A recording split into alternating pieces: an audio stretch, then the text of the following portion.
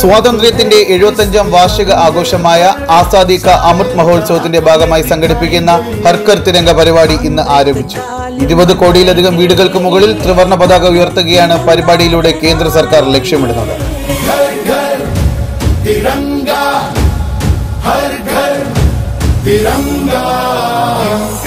ഇന്നു മുതൽ സ്വാതന്ത്ര്യ ദിനം വരെ മൂന്ന് ദിവസങ്ങളിലായി പരിപാടി സംഘടിപ്പിക്കും.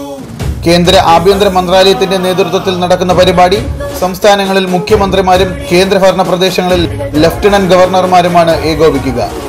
ഹർക്കർ തിരങ്കയുടെ ഭാഗമായി ധനമന്ത്രി കെ എൻ ബാലഗോപാലിന്റെ വസതിയിൽ ദേശീയ പതാക ഉയർത്തി.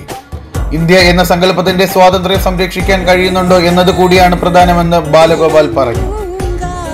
നടൻ മോഹൻലാലിന്റെ വീട്ടിലും ദേശീയ പതാക ഉയർത്തി. കൊച്ചി എളമക്കരയിലെ വീട്ടിലാണ് മോഹൻലാൽ പതാക ഉയർത്തിയത്.